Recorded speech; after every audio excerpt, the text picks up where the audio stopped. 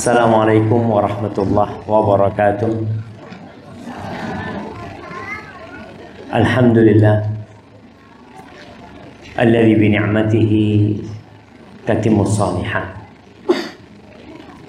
Segala puji bagi Allah Jalla Jalaluh yang karena nikmatnya kebaikan-kebaikan menjadi sempurna. Subhanallah, kita bisa berkumpul bersama di tempat ini. Kita bisa ada di tempat ini semua lewat jalan dan takdirnya masing-masing. Ada yang terkena macet, ada yang terkena delay, ada yang sampai saat ini belum sampai. Tapi sejatinya semua takdir Allah itu indah. Asalkan kita pandai mensyukuri nikmat yang Allah berikan dan bersabar atas musibah yang menimpa kita. Allahumma salli wa sallim ala sayyidina Muhammadin wa ala alihi wa ashabihi ajma'in. Ya Allah, semoga salawatmu, salam berkah dan nikmatmu senantiasa kau curahkan untuk hamba kekasih untuk baginda Nabi kita Muhammad sallallahu alaihi wasallam dan untuk keluarga beliau, untuk istri-istri beliau, untuk putra-putri beliau dan untuk seluruh sahabat Nabi. Semoga Allah meridai kita bersama mereka. Amma ba'd. Jamaah rahimakumullah, tema kita adalah berlibur bersama keluarga Dan mungkin tidak semua anggota keluarganya dibawa ke tempat ini. Tapi Allah mengumpulkan kita dengan keluarga yang lain. Yang sejatinya kita semua adalah saudara. Allah mengatakan innamal mu'minuna ikhwah. Kata Allah, sesungguhnya orang-orang yang beriman itu saudara. Ketika sholat, kita bisa berdiri sejajar. Kita bisa menempel berdekatan. Kita bisa berbaris lurus dengan orang yang tidak kita kenal di samping kita. Kita tidak tahu apa jabatan dia, siapa dia. Tadi kita sholat maghrib, udah pokoknya ada kosong kita masuk dan kita rapat. Dan ini bentuk ukhuwah yang sangat kokoh yang seharusnya kita jaga. Insya Allah para jamaah masih ingat dengan tujuh golongan yang kelak akan mendapatkan naungan di padang mahsyar pada hari kiamat.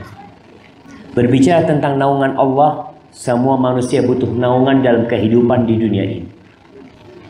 Tak kalah hujan kita butuh naungan. Kita bisa melihat saudara-saudara kita yang naik motor, bagaimana dia harus minggir mengenakan jas hujan. Bagaimana yang tidak punya jas hujan, dia harus rela minggir, berhenti. Sampai kapan? Sampai hujan itu reda. Dan sebagian yang punya mobil, Masya Allah, kebingungan ketika hujan karena wipernya nggak hidup. Dia di dalam tapi itu nggak hidup. Dia sebentar-sebentar berhenti untuk membuat kaca itu jadi terang. Dan sebagian ada yang nikmat. Dalam kondisi hujan, macet, dia ada supir. Dia tinggal duduk di sebelahnya, Mas, kalau sudah sampai bangunin ya. Masya Allah. Itu dalam kehidupan dunia. Ada teduhan yang dicari dan naungan yang dicari oleh manusia tatkala ada mentari. Tatkala panas terik, kita berusaha untuk mencari naungan. Ada yang bernaung di bawah pohon. Ada yang bernaung di bawah ya di depan rumah orang atau di depan toko supaya dia tidak terkena mentari. Kita tahu mentari di dunia ini jamaah tidak terlalu panas. Dan kita tahu kita juga tidak bisa diterpa mentari dalam waktu yang panjang. Satu jam adakah manusia yang siap satu jam di bawah terik mentari? Mungkin dia nggak tahan. Ingatlah kelak pada hari kiamat tatkala manusia dibangkitkan dari kuburnya. Ibu-ibu yang mungkin takut kulitnya berubah tatkala kena mentari. Bapak-bapak yang juga takut kulitnya terbakar ketika kena mentari, ingat nanti ketika manusia dibangkitkan dari kuburnya. Yub'atsun nas yaumal qiyamah hufatan uratan ghurlan. Bayangkan semua akan dibangkitkan dalam kondisi telanjang. Dibangkitkan dalam kondisi tidak beralas kaki. Dalam kondisi belum disunat semua. Mereka kemudian berkumpul bersama di padang mahsyar dalam kondisi telanjang. Sebelum nanti mereka diberi pakaian, tatkala itu mentari mendekat. Rasul SAW mengatakan qadru mil. Jaraknya satu mil. Satu mil. Para sahabat bertanya, ya Rasulullah, mil yang dimaksud jarak atau mil yang digunakan untuk celak? Mil jarak, kata Nabi Alaihissalam. Apa yang terjadi tatkala mentari mendekat? Mereka tenggelam dalam keringat mereka. Dan semua kata Nabi alaihi ala qadri amali sesuai dengan amalan. Kita sering bergurau. Kadangkala makan kita terakhir nggak dapat makanan. Atau nanti ada pesta duren tahu-tahu yang datang terakhir nggak dapat duren. Apa kata sahibnya? Tergantung amalnya nah dan betul kalau masa rizki jemaah di dunia ini udah dicatat tapi untuk nanti di padang mahsyar tergantung amal. Rasul SAW mengatakan minhum di antara mereka ada yang keringatnya sampai ke mata kakinya. Ada yang sampai ke betisnya, ada yang sampai ke lututnya, ada yang sampai ke pinggulnya, keringat dia. Dan satu sama lainnya berbeda keringat. Mereka saling melihat dan ada yang yuljimuhul araku iljaman. Ada yang keringatnya itu sampai ke telinganya sehingga dia hampir tenggelam dalam keringatnya. Seperti akuarium akuarium manusia. Dan mereka akan melihat yang di sebelahnya mungkin hanya sampai ke pinggulnya sedangkan dia sampai ke kepalanya. Kita di dunia bisa melihat kekayaan orang Antum bisa ngelihat orang di sebelah antum bajunya mereknya apa, sepatunya mereknya apa, jamnya mereknya apa, cincinnya. Antum tahu, oh kelasnya segitu. Tapi ketika di padang mahsyar, kau tahu kelasnya orang nyata. Ternyata orang ini tenggelam dalam keringat. Itu amalan dia. Rasulullah Sallallahu Alaihi Wasallam mengatakan sab'atun yudhilluhumullah fi dhilli yauma la dhilla illa dhillu. Ada tujuh manusia yang akan mendapatkan naungan dari Allah di hari yang tidak ada naungan kecuali naungan yang Allah berikan. Jamaah, kita hidup di dunia itu al-yaum amalun bila hisab. Kita terus beramal. Hisapnya kapan nanti? Terus beramal. Kau kadang-kala tidak merasakan kenikmatan dari yang kau amalkan. Sodako, sholat, puasa. Kok kayaknya nggak ada gantinya dari Allah. Nah, ganti itu pasti. Tapi ganti yang paling mulia tatkala ganti itu disempurnakan di akhirat nanti. Pada hari itu ada tujuh golongan yang mendapatkan naungan. Paling tidak jamaah ambillah satu dari tujuh itu. Kalau bisa kita dua dari tujuh itu. Kalau bisa kita tiga dari tujuh. Karena sungguh menyedihkan. Tatkala nanti khususnya di surga Allah yang luasnya seluas langit dan bumi, kemudian kita nggak punya satu petak Kita di dunia punya tanah, punya rumah 500 meter. Kita punya rumah satu hektar. Bayangkan surga itu luasnya seluas langit dan bumi dan kita nggak punya tempat satu petak pun di sana nanti. Dimulai dari mana? Dimulai ketika di padang mahsyar nantinya. Kau akan tahu seperti apa amalanmu dalam kehidupan ini. Adapun tujuh golongan itu yang pertama kata Rasul SAW imamun adil. Imam yang adil. Pemimpin yang adil. Tentunya pemimpin paling utama adalah pemimpin terbesar buat umat. Amirul Mukminin. Mungkin sekarang ada presiden, ada raja, ada gubernur, ada bupati, ada yang di bawahnya. Ada pemimpin-pemimpin yang kelas RT pun. Kalau dia adil, kau akan dapat naungan dari Allah SWT. Dan para jamaah ketahuilah bahwa sebuah negeri yang dipimpin oleh muslim yang boleh bisa hancur. Dan sebuah negeri yang dipimpin oleh orang kafir yang adil, negeri itu mungkin masih bisa bertahan. Karena kezaliman itu Allah haramkan. Waja'altuhu bainakum muharraman. Aku jadikan keharaman itu diharamkan di antara kalian. Fala Kalian jangan sah dan kita tahu doanya orang yang dizalimi mustajab. Jangan main-main. Mu'ad bin Jabal ketika diutus sama Rasul SAW dari kota Medina ke mana? Ke Yaman untuk berdakwah dan menjadi gubernur juga di sana. Punya tugas mengumpulkan zakat Mu'ad bin Jabal. Ketika diajarin bagaimana berdakwah, Terakhir Nabi berpesan kepada Mu'ad bin Jabal, "Iyyaka wa da'watul maghlub." Hati-hati kau dengan doanya orang yang dizalimi. Kenapa? Fa innahu laisa bainaha wa bainallahi hijab. Ketahuilah bahwa antara doa orang yang dizalimi dengan Allah tidak ada hijab. Dalam sebuah riwayat dikatakan la ansurannaka walau ba'da hin. Aku pasti membantu.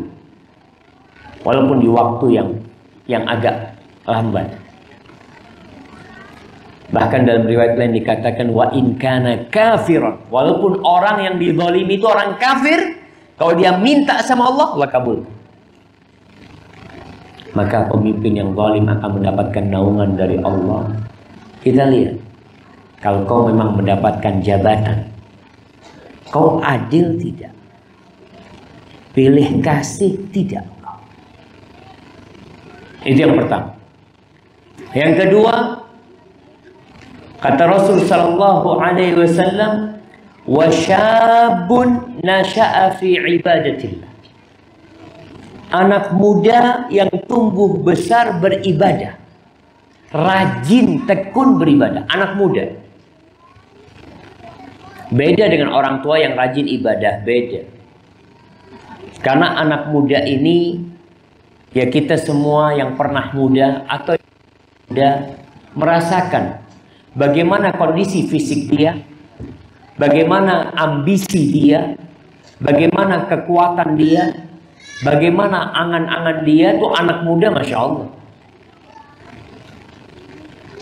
Makanya dalam sebuah hadis dikatakan Inna Allah la ya'jabu minasyam laysat lahu sabwa. Allah itu takjub kepada pemuda yang nggak punya ambisi ke yang negatif-negatif. Allah itu takjub. Dan kita lihat di negeri kita, kalau ada anak muda yang rajin ke masjid, orang melihat, Masya Allah anak muda. Kalau melihat anak muda ke kafe ke mana, apa kata mereka? Biasa masih muda.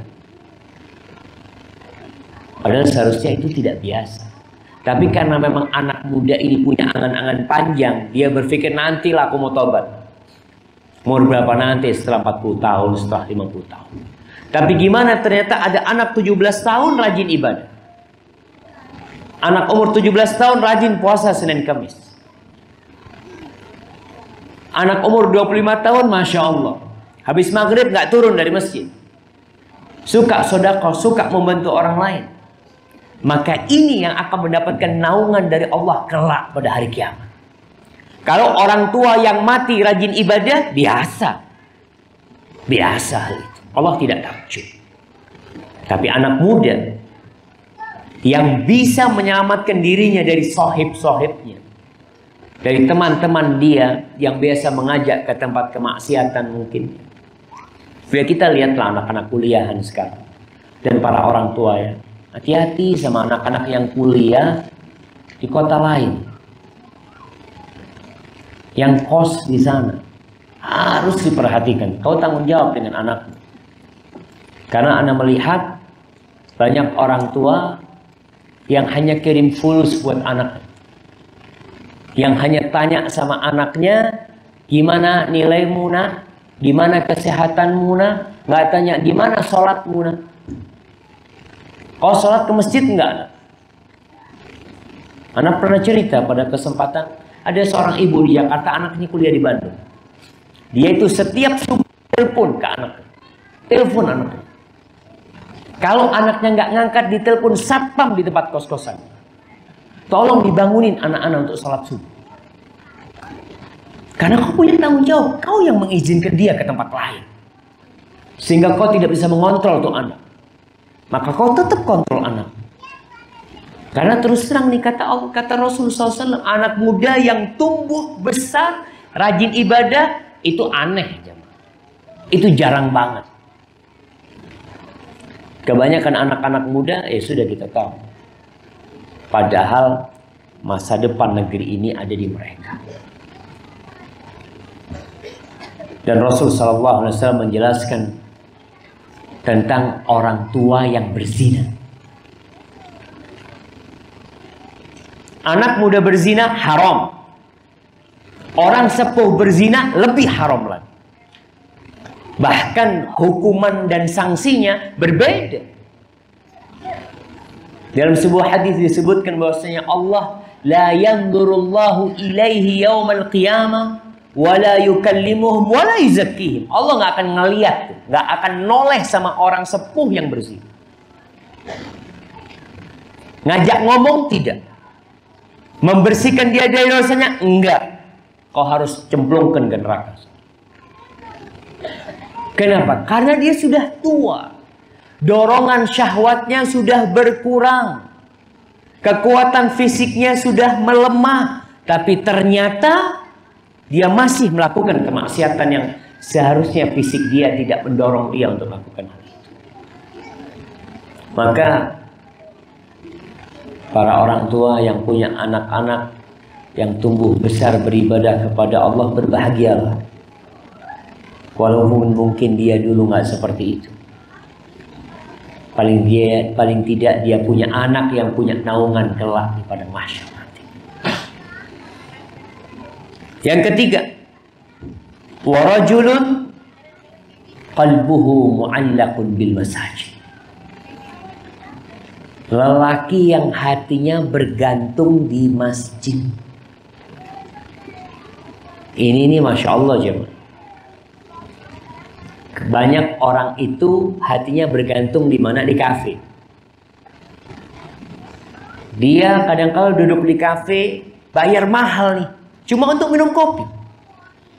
Ngobrolnya lama sekali. Kalau di masjid, kalau di masjid seperti cacing kepanasan. Hatinya memang tidak ada di masjid. Ada anak-anak lelaki-laki yang hatinya adanya di puncak-puncak gunung. Dia suka mendaki, hatinya itu nyantol di sana. Turun dari gunung, udah bikin proyek, kapan kita ke gunung lagi? Macam-macam. Ada yang hatinya bergantung di mall. Ada yang hatinya bergantung di lapangan futsal. Hatinya tuh di sana. Selalu yang jadi obrolan dia futsal. Eh, kapan main futsal lagi? Kapan main? Nggak apa-apa main futsal. Tapi jangan sampai hatimu bergantung di sana.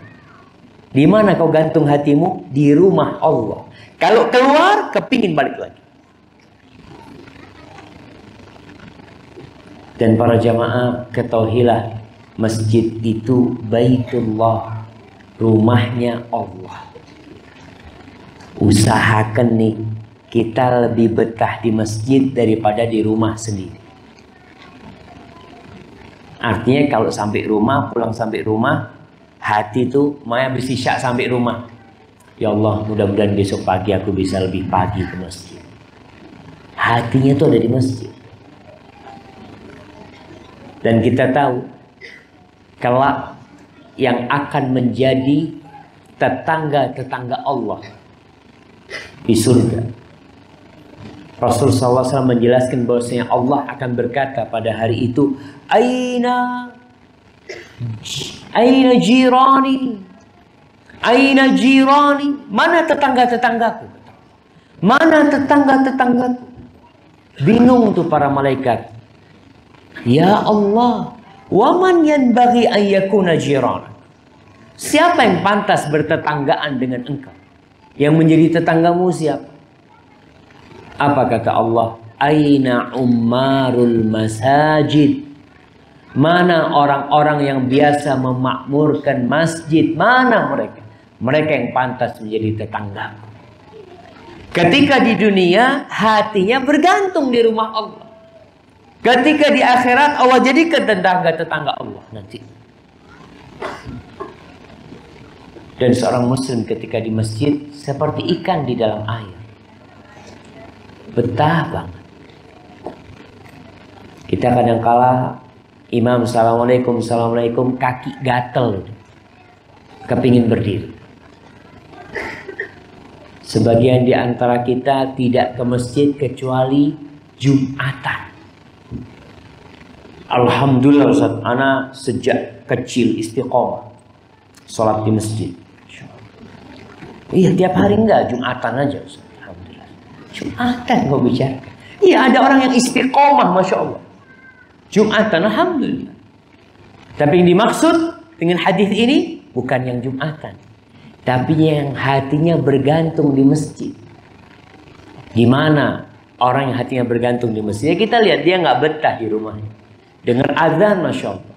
Ada orang yang ke masjid ketika komat. Pulang ketika Assalamualaikum. Bahkan sebagian Semoga Allah mengampuni dosa-dosa kita. Sebagian selalu bikin jamaah kedua. Jadi masbuk terus. Imam Assalamualaikum Assalamualaikum dia selalu nambah. Dia termasuk orang yang semangat ya. Karena kurang gitu artinya. Imamnya Assalamualaikum seharusnya dia Assalamualaikum. Tapi karena dia termasuk yang semangat beribadah selalu nambah ibadah. Wallah jemaah, kita perlu mulai saat ini. Kau pilih tuh, udah tiga. Kau jadi yang mana? Imam, Ustaz. Anda bukan imam, Ustaz. Anda cuma pegawai. Siap. Yang kedua, syab, pemuda, Anda sudah tua. Ustaz. Masa muda Anda kayaknya tidak bisa diharapkan. Baik, yang ketiga, orang yang hati bergantung di masjid. Ini mungkin, mungkin Ustaz. Apalagi sudah tua. Biasanya masjid itu di mana-mana yang rame itu pensiunan. Nah, yang jadi takmirnya pensiunan. Semuanya sudah. Muadzinnya pensiunan. Imamnya sama. Jadi mereka itu kadang-kala ba'dal maghrib ke isya nggak pulang. Kenapa? Memang mau ngapain di rumah Ustaz? Bini sudah tua. Anak-anak sudah nggak ada. Ya udah duduk di masjid. Jadi hatinya bergantung di masjid terpaksa. Karena di rumah nggak ngapa-ngapain. Tapi alhamdulillah dia makmurkan masjid. Daripada dia ke rumah. Yang keempat nih. yang mungkin bisa kita jalin di tempat ini.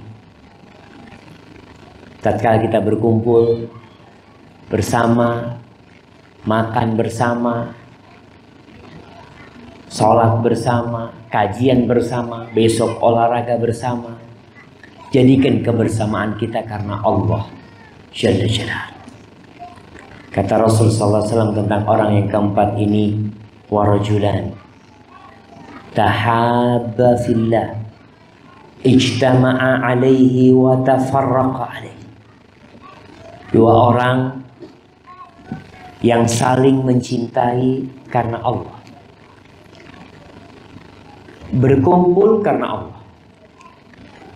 Dan berpisah pun karena Allah.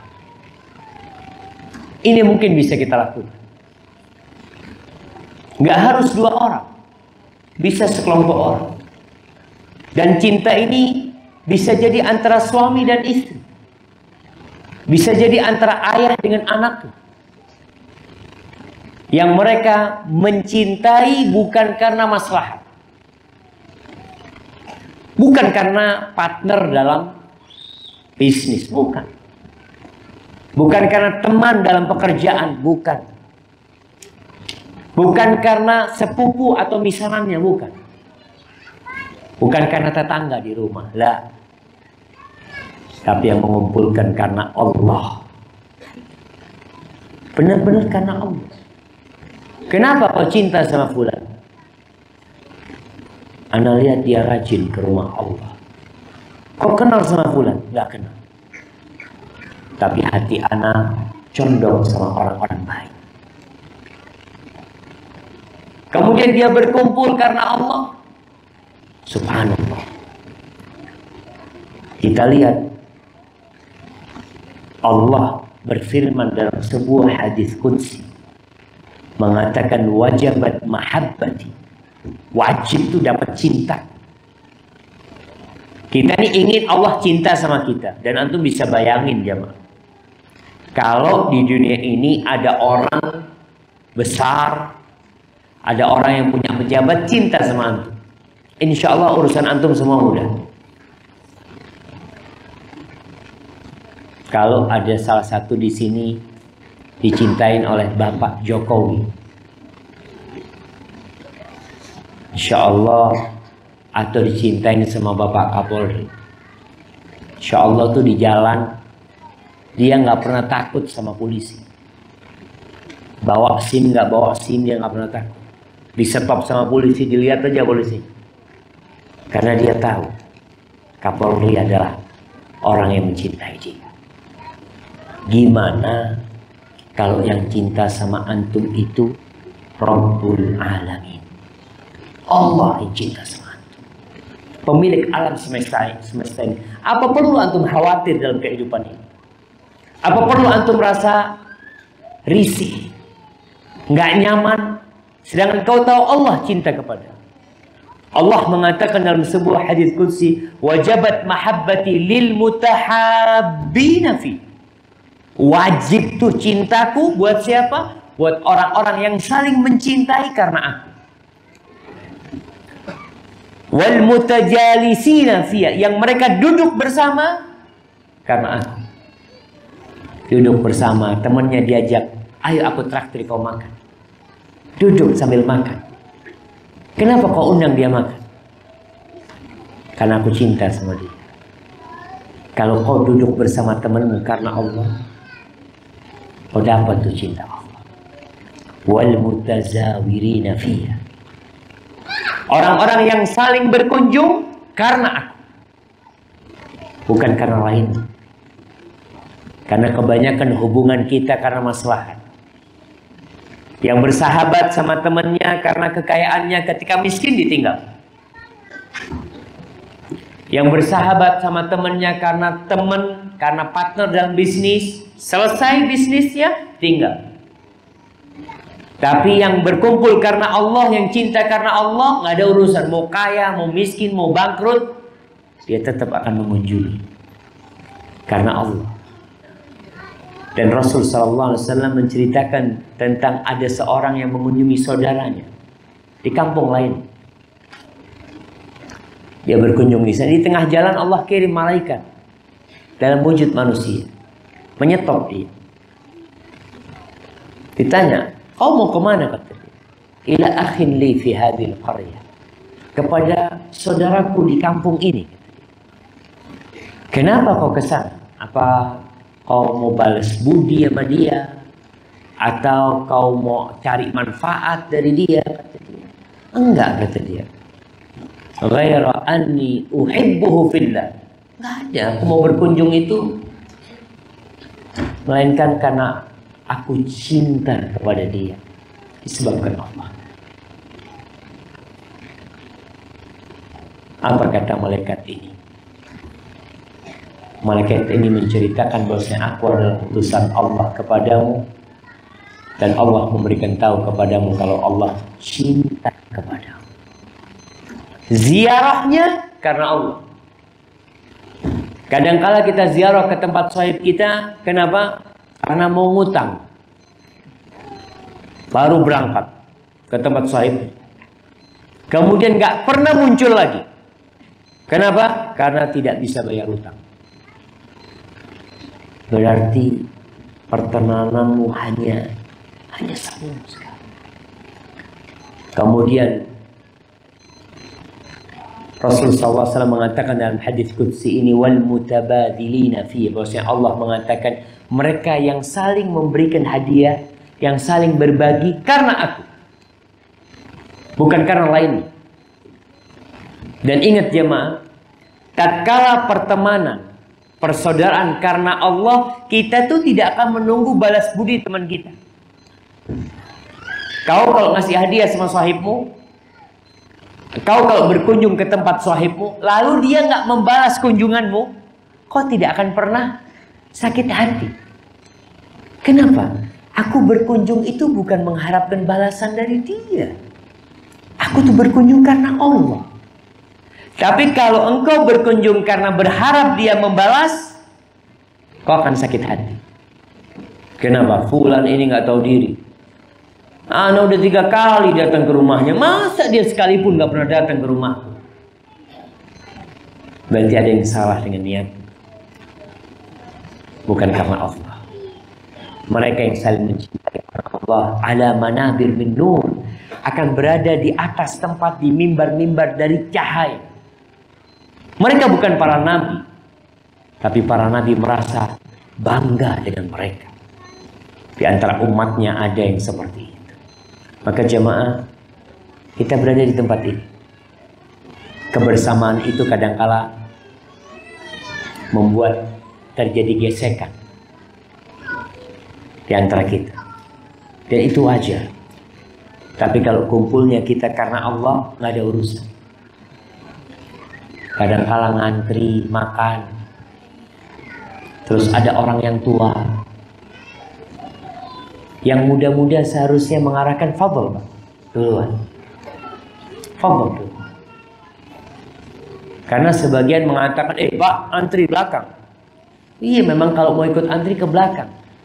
Tapi bukankah kita diperintahkan untuk menghormati yang lebih tua, menyayangi yang lebih muda? Seorang yang membangun cintanya karena Allah, hidup ini indah. Dan suami istri bangun cintanya karena Allah. Cinta di antara suami istri ini tidak dibangun di atas syahwat belaka. Karena kalau bicara syahwat, bagaimana dengan yang sepuh-sepuh? Bagaimana dengan ibu-ibu yang sudah nenek-nenek, yang sudah tidak memiliki syahwat? Apakah cintanya hilang? Enggak lah. Karena Allah menjadikan wajah ala bainakum mawaddatan warahmah. Allah yang menjadikan di antara kalian mawaddah, cinta dan kasih sayang. Sehingga seorang istri ketika melihat suaminya sholatnya telat-telat, jangan terus mencintai suaminya. Kau benci sama suamimu. Gimana Ustaz? Anak punya suami nggak sholat. Sebagian mengatakan anak tetap cinta sama suami anak walaupun tidak sholat. Nggak benar. Dan ingat semua cinta yang tidak dilandasi karena Allah akan berubah menjadi permusuhan. Nanti itu suami istri akan saling kabur. Dan kita akan berpisah tentang ketika berpisah. Perpisahan dua yang akan kita bicarakan. Perpisahan karena perceraian dan perpisahan karena kematian. Pasti. Ibu-ibu pasti berpisah dengan suaminya dan para suami pasti berpisah. Apakah ketika ibu-ibu ditinggal mati suaminya, mungkinkah ketemu lagi sama suaminya di surga? Mungkin enggak? Mungkin aja, tapi mungkin juga tidak. Sang istri menikah lagi, maka dia akan bersama suaminya yang terakhir. Dan kau belum tentu kau masuk surga juga. Allahumma Karena kalau bicara cinta jemaah, banyak orang itu berpikiran cinta antara pemuda dan pemudi. Cinta nafsu dan syahwat yang digambarkan dalam film-film itu tidak ada di dunia nyata jemaah. Kalaupun ada ketika mereka menikah selesai. Impian yang mereka rajut habis. Dan tidak sedikit orang yang bertahun-tahun memadu cinta dan kasih setelah menikah sebulan dua bulan mereka bercerai. Maka itu yang keempat. Mungkinkah kita? Mungkin.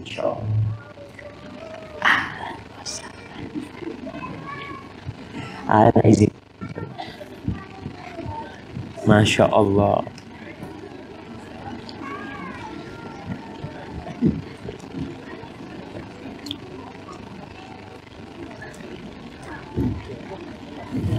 Barakallahu fiikum. Nah, itu yang keempat. Ini yang lewat itu itu buah cinta. Nah, subhanallah Ada seorang syekh cerita dia punya sohib udah tua punya anak punya cucu 18 18. Rata-rata semuanya hafidul Quran. Cucunya yang 18. Terus saya nyum, subhanallah. Itu tuh buah dari cinta. Buah dari syahwat yang haram. Jadi 18 hafidul Quran. Bagaimana dengan kakeknya nanti? Ketika memiliki cucu 18 semuanya hafidul Quran. Ya tadi ketika rumah tangga dibangun karena Allah maka orang tua sudah tahu anakku mau aku jadikan apa. Karena hubunganku sama suamiku karena Allah. Maka anak-anak pun akan dijadikan pelayan-pelayan Allah. Tapi yang kelima yang akan mendapatkan naungan pada hari itu. Warajulun da'athum ra'atin da'athum ra'atun zatu mansibin wa jamal. Faqala inni akhafullah. Subhanallah. Seorang lelaki yang dipanggil oleh seorang wanita yang cantik dan berkedudukan. Wanita mulia, wanita terhormatlah dia di masyarakat. Dan dia cantik. Lalu lelaki ini menolak dengan mengatakan inni akhafullah. Aku takut kepada Allah. Bayangkan. Ibu-ibu rahimakumullah, dengan apa kita ingin dikenang? Dengan apa kita ingin dikenang dalam kehidupan ini dan setelah kita mati? Ada yang ingin dikenang dengan jabatannya. Oh, mantan presiden. Mantan Kapolri. Mantan gubernur. Ada orang yang ingin dikenang dengan seperti itu. Ada orang yang ingin dikenang dengan kecantikannya. Oh, fulan, ada ratu kecantikan. Fulana. Orang yang paling cantik. Dan kita tahu Rasulullah sallallahu alaihi wasallam orang yang paling tampan. Beliau panglima perang. Beliau pemimpin umat. Dan kita tahu Allah memberikan satu pujian buat Nabi alaihi salatu wasallam yang dikenang sampai akhir masa dengan mengatakan wa innaka la'ala khuluqin azim. Engkau berada di akhlak yang mulia. berada di atas akhlak yang agung sekali. Tidak disebutkan tentang jabatannya. Tidak disebutkan tentang kedudukannya, tapi akhlak. Dan di hadis ini bagaimana seorang lelaki tentu perempuan. Jamaah wanita kita cantik, wanita-wanita terhormat kadang kala mengajak kita berzina tidak dengan lisan, tapi dengan apa?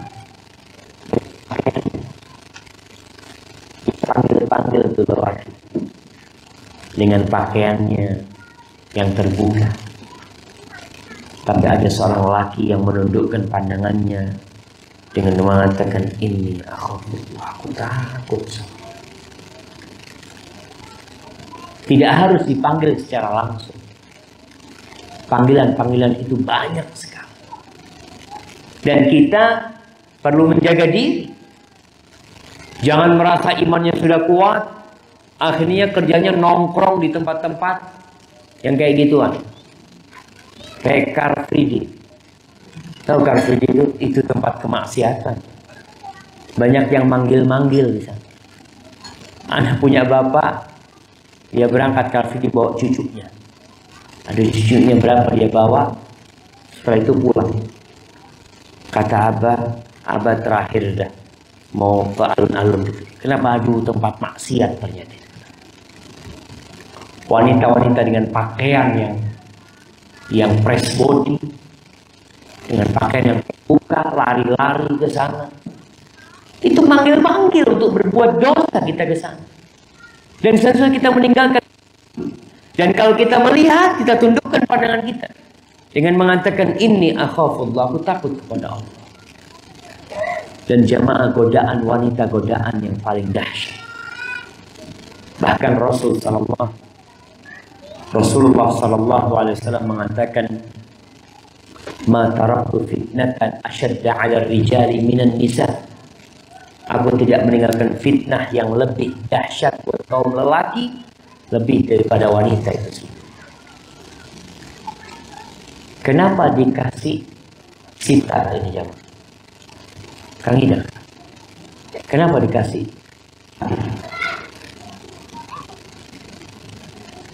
untuk menghindari fitnah mereka sudah diciptakan sebagai fitnah, ujian buat orang laki. Dan Nabi Allah Yusuf alaihissalam ketika berduaan di rumah tidak ada orang lain, subhanallah. Allah mengatakan falamma hammat bihi wa hamma Ketika ini ada keinginan kepada Yusuf dan Nabi Yusuf ada keinginan dengan perempuan. Ada ham, ada perasaan.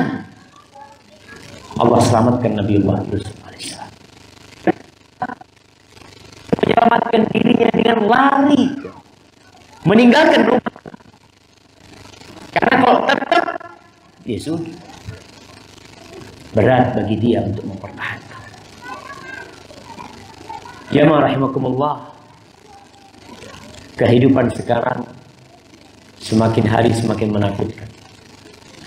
Kita melihat banyak perempuan yang berkerudung. Tapi ternyata banyak perempuan juga yang pakaiannya semakin gak karu-karuan. Semakin tidak jelas. Di pesawat, pramugari-pramugari disuruh pakai yang tidak tertutup. Anak punya bibi cerita waktu waktu haji bersama jemaah dan rombongan haji dari Jember. Itu ada bapak mau berangkat haji udah tua. Ketika Prabu Gari lewat, dia cerita, tangannya itu di dikeluarin di jalan gitu katanya. Kenapa? Biar kena lah. Biar kapal lewat itu ini berangkat haji ini jemaah. Supaya ketika pramugari lewat itu kena tangannya. Itu udah tua kata dia. Karena memang fitnah yang sangat besar. Tapi seorang lelaki yang bisa menahan dirinya, menundukkan pandangannya, dan mengatakan ini akhafullah, aku takut kepada Allah. Dan kita tahu, waliman khafa maqama rabbihi jannatan. bagi orang yang takut dengan makom Tuhannya ketika dia diberdirikan di depan Allah, dia akan dapat dua surga. Dia tinggalkan dosa itu bukan karena manusia. Bukan karena ada yang melihat. Bukan karena takut sama penyakit. Enggak. Bukan karena takut ribut sama istrinya. Takut ketahuan sama istrinya. Lah. Tapi karena Allah. Maka Allah akan berikan apa yang dia inginkan. Kemudian yang keenam. Tenang jemaah. Enam, tujuh selesai.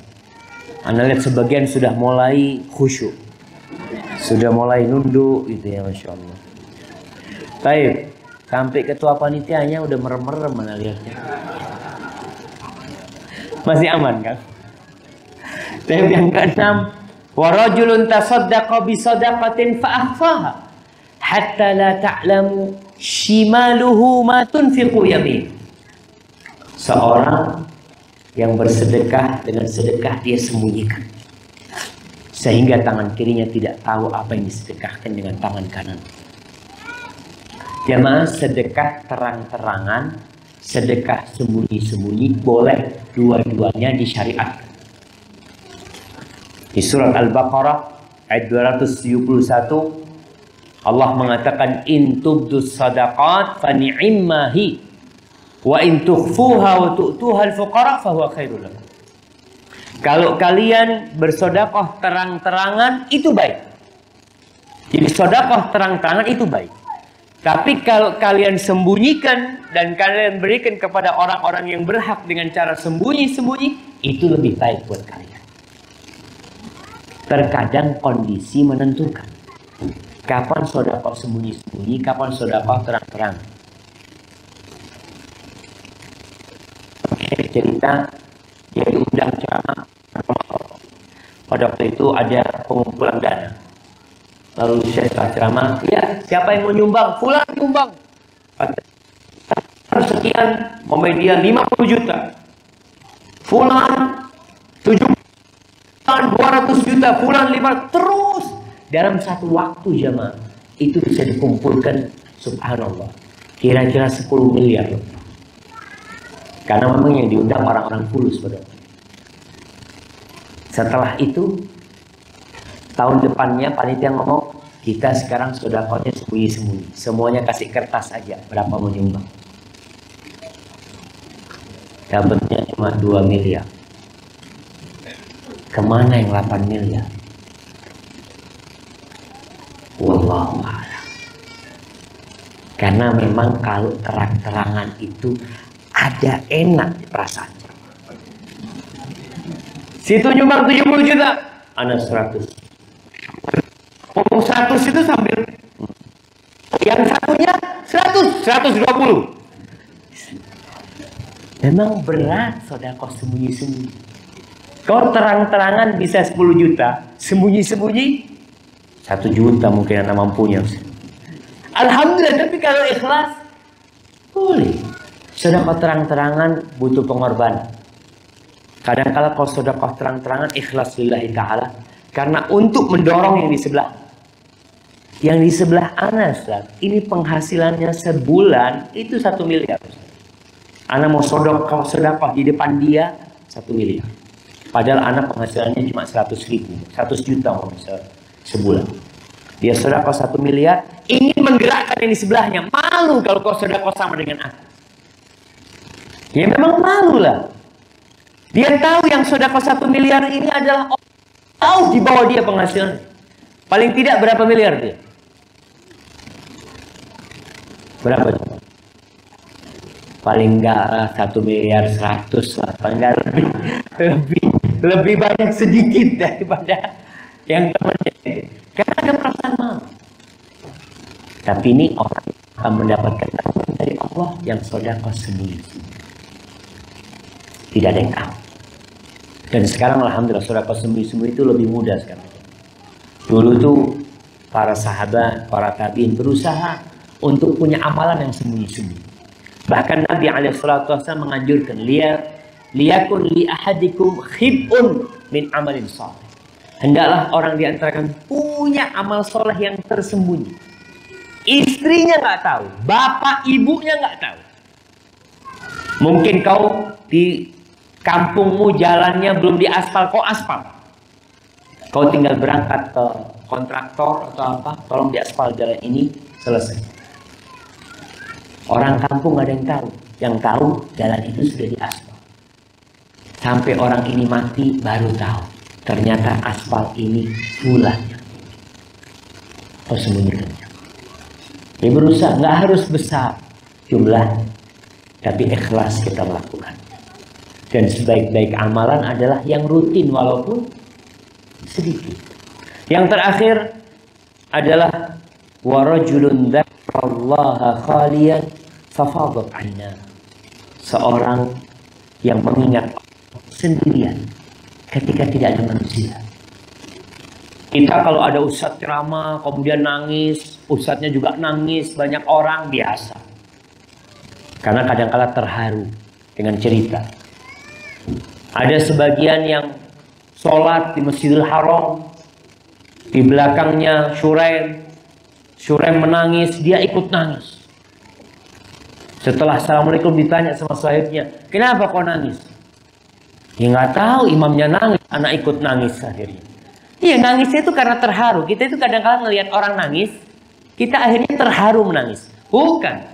Ini nangisnya ini karena sendirian. Mengingat Allah sendirian, dia tahu dengan dosa-dosanya, lalu dia mengucurkan air mata. Dan kita perlu jemaah punya waktu-waktu duduk bersama Rob kita. Di malam hari.